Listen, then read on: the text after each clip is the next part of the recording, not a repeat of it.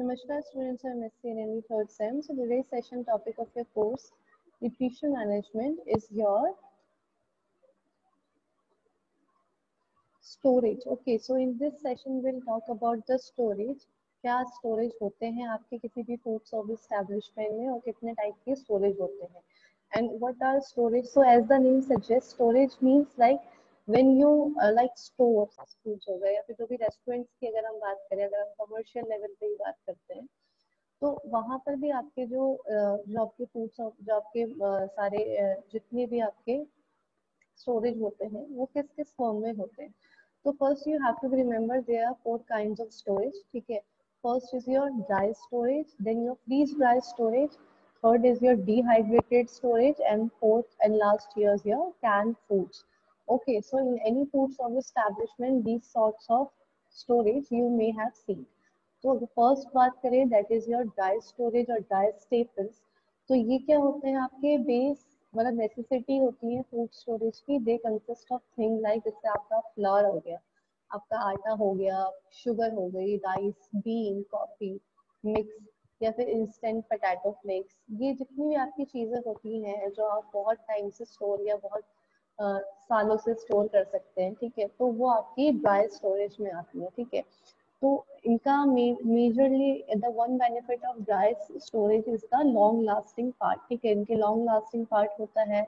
It is also like cheapest आपकी सबसे सस्ती अगर हम देखा जाए तो आपकी स्टोरेज फॉर्म जो होती है, सबसे चीप फॉर्म होती है। बहुत ही इजीली आप स्टोर कर सकते हैं। It doesn't require many like आपकी मशीनरी इसमें की ज़रूरत नहीं होती है। You can store in your jar और in your bottles air tight containers तो ये सब चीज़ें आपके क्या होते हैं? ड्राई स्टोरेज में आते हैं। Then the second one is your freeze dry freeze dry में क्या होता है? जो आप किसी भी फ़ूड को या जो भी राशन है, जो भी आपका फ़ूड है that is prepared by freezing ठीक है जब आप उसको फ्रीज कर रहे हैं, जो आप एक्सेस मॉइस्चर को ड्राई कर दे रहे हैं तो वो आपका फ्रीज ड्राई में आ रहा है। They are often sold by the specialist company and online in nitrogen steel cans ठीक है, ऐसे कैन में से आपके, इसका बेसिक एग्जांपल अगर मैं दूँ that is your frozen peas okay तो जैसे मार्केट में आपने देखा होगा फ्रोजन पीस आती है। ठीक है तो आपके जो मटर होते हैं, matar is not seas matar is seasonal okay तो विंटर सीज़न में आते हैं आपके मटर। ठीक है बट जैसे हमें समर्स में मिल रहे हैं रेनी सीज़न में मिल रहे हैं इट्स जस्ट बिकॉज़ कि आपका जो जो आपके मटर है, वो क्या है? फ्रोज करे हुए हैं, जो आपके सीज़न में बन रहे हैं। जो विंटर सीज़न में के मटर आए हैं, उनको फ्रोज कर दिया है जिससे कि वो लॉन्गर टाइम तक आपके चल रहे हैं, ठीक है? और इसके साथ साथ अगर हम वैसे भी बात करें तो फिर आपके बहुत सारे आपके फ़ूड आइटम्स आते हैं, जो आप जैसे जो फ्रीज फॉर्म में होते हैं एंड देन जब उसको आप हॉट वाटर में डालो तो फिर वो आपके क्या होते हैं? रेडी टू ईट वाले आइटम्स में कन्वर्ट हो जाते हैं। Okay the third storage is your dehydrated storage dehydrated storage और आपका freeze dry they both are same ठीक है?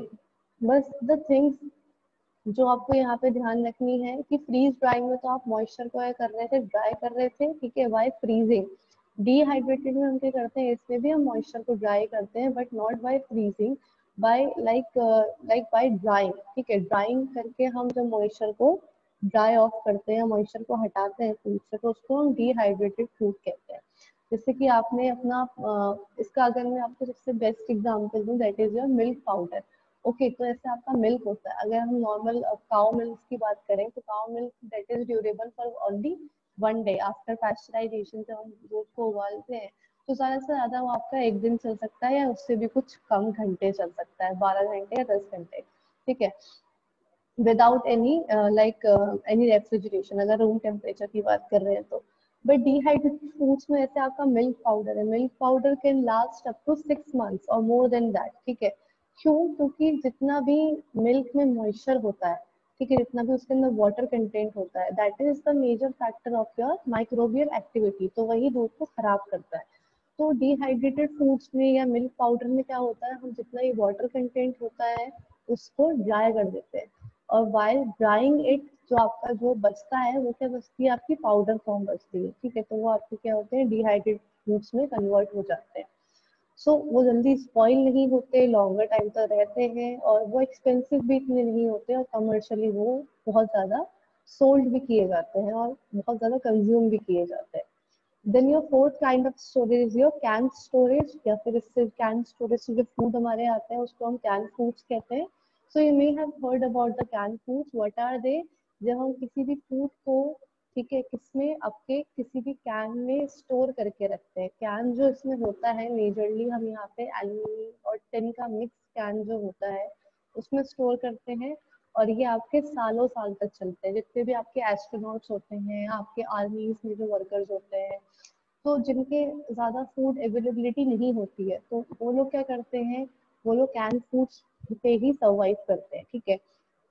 इसमें कोई वाटर किसी भी हीट की ज़रूरत नहीं होती इट रिक्वायर नो प्रिपरेशन ठीक है? इसमें बस आप कैन को आप ओपन कीजिए and then you can eat it ठीक है? तो जो ईट जो हम करते हैं, उसको वो जो आपका पूरा होता है वेजिटेबल फ्रूट सीड्स ठीक है? मतलब हर आपके सारे न्यूट्रिटिव प्रोडक्ट्स होते हैं जिनको हम कैन करते हैं। तो कैन फ़ूड ड्यूरेबल होते हैं as they are cheap type of storage and ये जो इसकी कोई इतनी आपकी एक्सपायरेशन डेट भी नहीं होती है। Once can are open then it may consume like within days ठीक है? But otherwise it has no expiration date अगर आपने कैन को ऊपर ओपन कर दिया और उसमें आपका एयर इनकॉपरेट हो गई है एटमोस्फेरिक एयर तो उसके खराब होने के चांसेस होते हैं। अदरवाइज़ उसमें आपकी एयर जब तक नहीं जा रही है, जब तक वो कैन ओपन नहीं हो रहा है, तब तक वो आपका ड्यूरेबल रहता है। So this is all with your kind of storage और क्या स्टोरेज कितने टाइप्स के होते हैं that we have discussed in the topic so in case of any doubt, you may ask in the comment section. Thank you.